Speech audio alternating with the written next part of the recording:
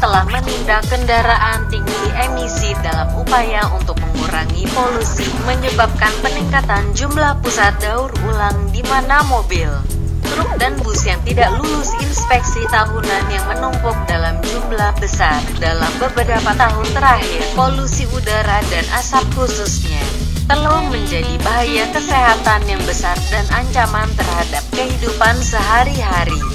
Pemerintah Cina telah bersumpah akan melakukan pertempuran melawan polusi udara, aktif mendorong untuk penggantian kendaraan yang lebih ramah lingkungan. Salah satu yang paling menarik adalah kota Cina Hangzhou, di mana terdapat peningkatan jumlah kepemilikan kendaraan pribadi. Saat ini sudah ada sekitar satu mobil untuk setiap dua orang di Hangzhou.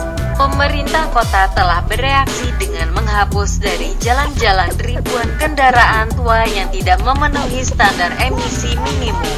Untuk itulah terjadi penumpukan kendaraan yang dianggap telah tua. Di penampuangan digolongkan mobil jenis sedan, truk atau minibus. Bahkan khusus sepeda motor dan sepeda motor dengan bak terbuka di belakangnya.